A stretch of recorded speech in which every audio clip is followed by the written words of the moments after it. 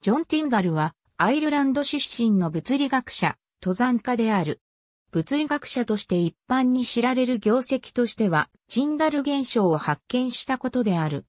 その他にも、赤外線放射、半磁生態に関して突出した業績を残した。登山家としては、アルプス山脈5番目の最高峰バイスホルンの初登頂に成功した。また、マッターホルンの初登頂を競い、1862年に山頂から標高230メートル下の肩にまで達した。1868年にはマッターホルンの初重走に成功している。なお、登山の元々の目的は物理学者としてアルプスの氷河を研究することであった。